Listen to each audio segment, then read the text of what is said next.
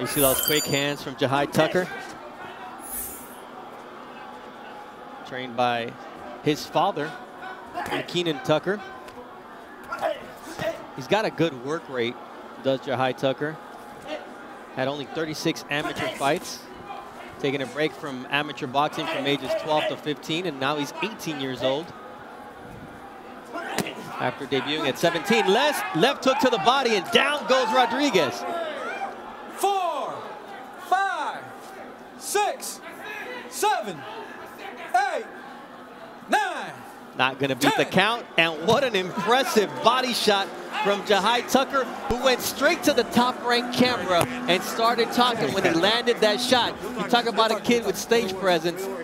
Wow, what a nice finish from Jahi Tucker. Gets his second knockout in three professional wins, and each time it's been a different shot, and it was immediate. There he digs down, ooh, right to the liver. It was a nice, that was a nice fake right there. You know, Tucker was close enough, went to the outside, reached the outside, came around that elbow with that shot.